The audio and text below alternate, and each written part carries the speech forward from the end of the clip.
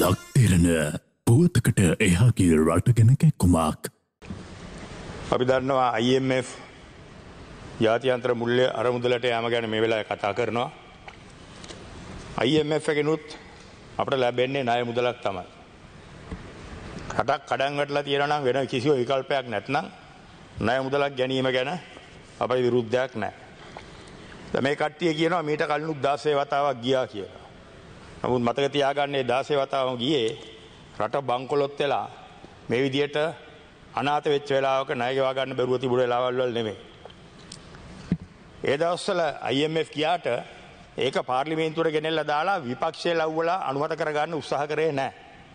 මේගොල්ලෝ මේ හදන්නේ මේගොල්ලෝ IMF හරහා ජනතාව මත දාන බර ජනතාව පීඩාවට පත් කිරීම ඒ පාප කර්මයට විපක්ෂයක් දායක කර ගැනීම තමයි මේක පාර්ලිමේන්තුවට ගෙනාවේ ජනාධිපතිතුමා. අපි ඒක අනුමත කරන්නේ IMF කියන්නේ තවත් විශාල ණය මුදලක්. ණය බරින් මිරිකිලා ඉඳගෙන ගන්න තව විශාල ණය මුදලක්.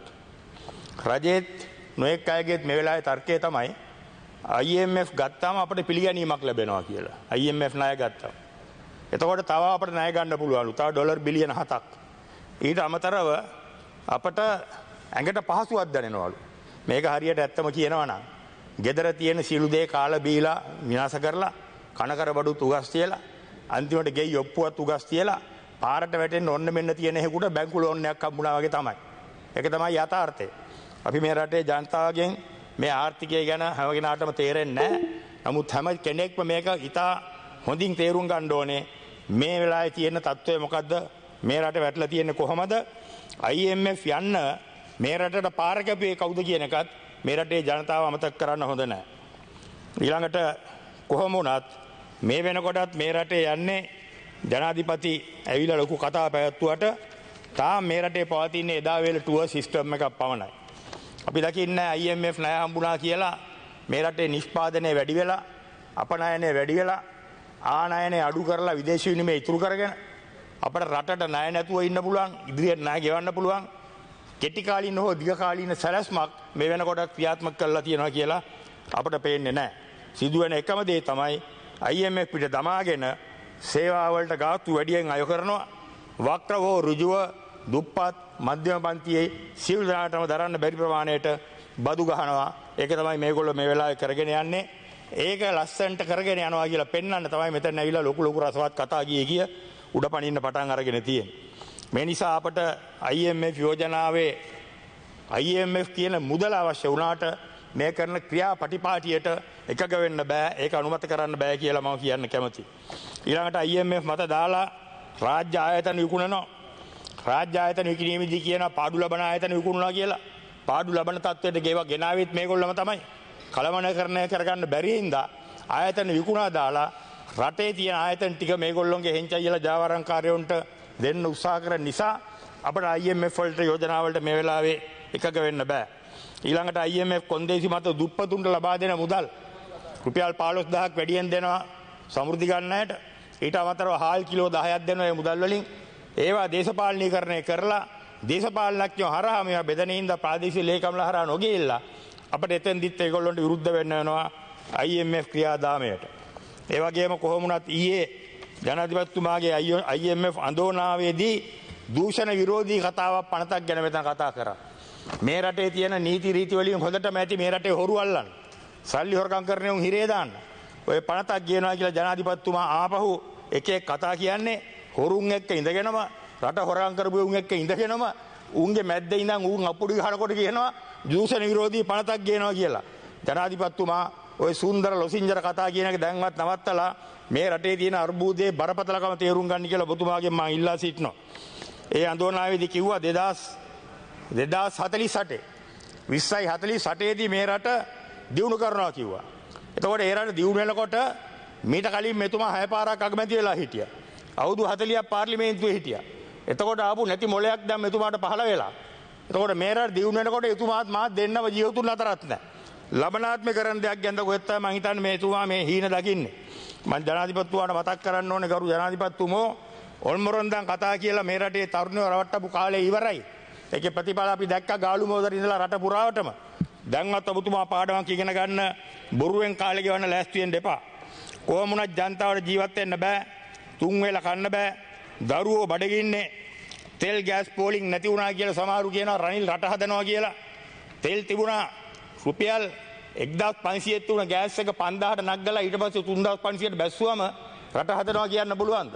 ඩීසල් ලීටර එකසිය තිස් සතර තිබිලා රුපියල් පන්සියට වැඩි කරලා ඉටවසේ තුන්සිය පනහට බැස්වාම රට හදනවා කියනවා කියන්න පුළුවන්ද.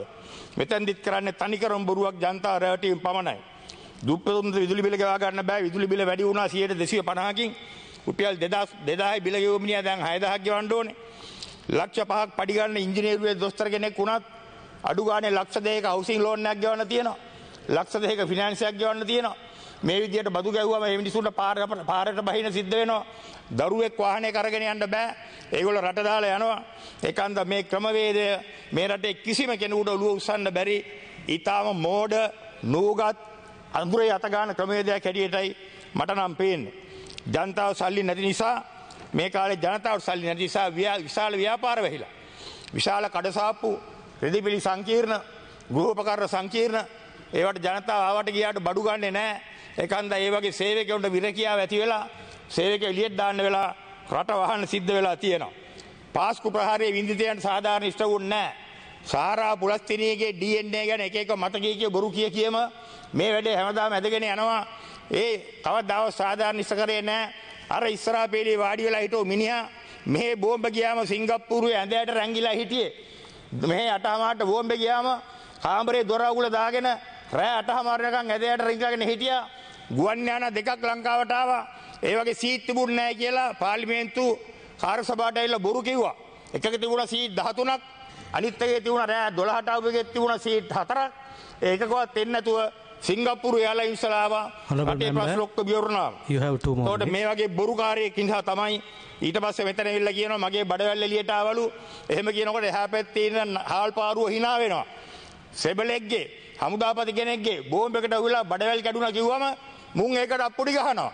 ඒකෙන්ම තේරෙනවා මේ පැත්තේ වාඩි වෙලා ඉන්නේ උන් මොන જાතිය මිනිස්සුන්ද රට ගැන කැක්කුමක් තියනවද රණයුරුවෙක් ගැන කැක්කුමක් තියනවද කියලා. එතකොට ඊළඟට අපි දැක්කා ඊළඟට අපි දකිනවා ප්‍රතිදස්ත පන්ත කියලා නිවට බියගුල පනතක් ගේන්න හදනවා. මේ ගෙනල්ල වෘත්තිය අයිතිවාසිකම් වෙනුවෙන් සටන් කරනගේ කටවල් වහන්න හදනවා. දොස්තරවරු ගුරුවරු හිරේ දාන්න පාර කපන්න හදනවා. එක්ස්ප්‍රස් පර්ල් නැව කියන එකෙන් හොරගම් කරා ඩොලර් මිලියන් 250ක් ගැහුවා. රටේ ඉන්න මූදු සම්පත සමුදු සම්පත විනාශ වෙලා මාළුව කැස්බෑව කකුළුව ඔක්කොම මැරලා තියෙද්දිත් මුන් ඒ ලැබෙන සහනාධාරයත් හොරගම් කරා. අනිවාර්යයෙන් මේක පිටිපස්සේ රාජපක්ෂලා ඉන්නවා.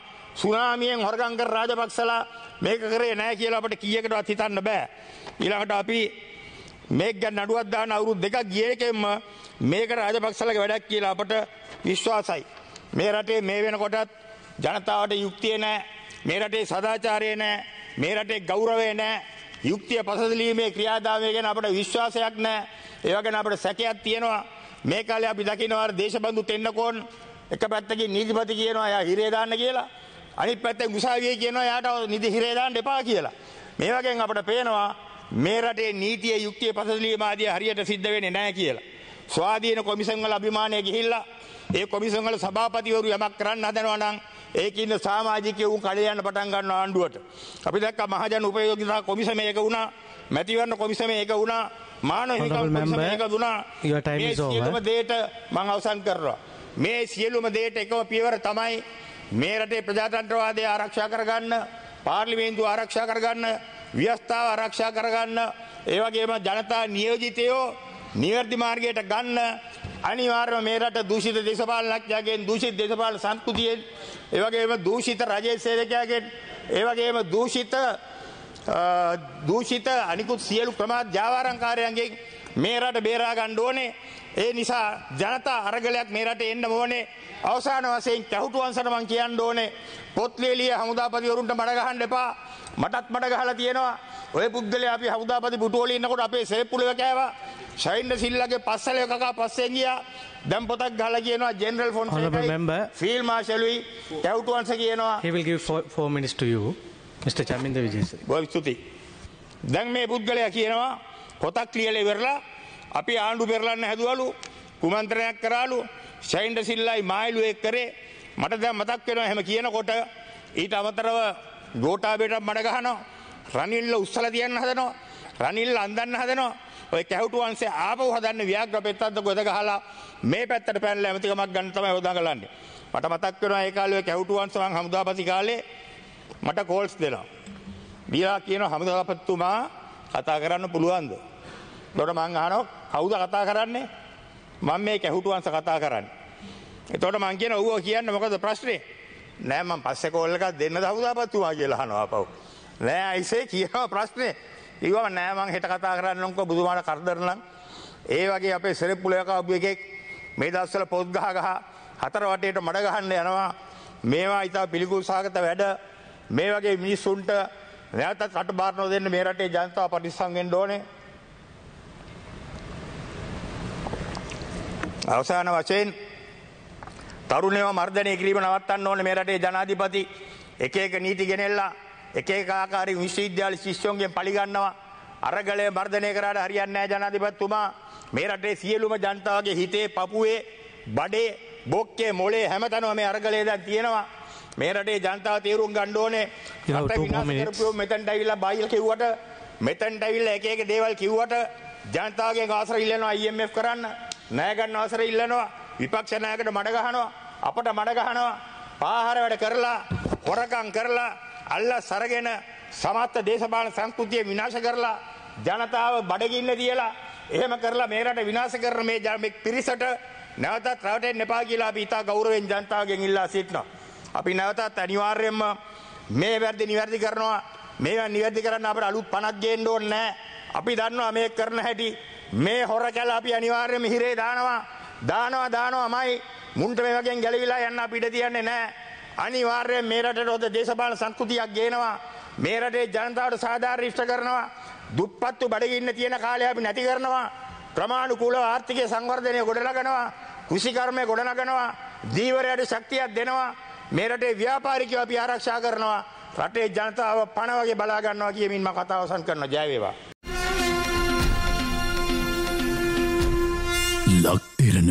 පුවතකට එහාගේ රටගෙන කැක්කුමක්.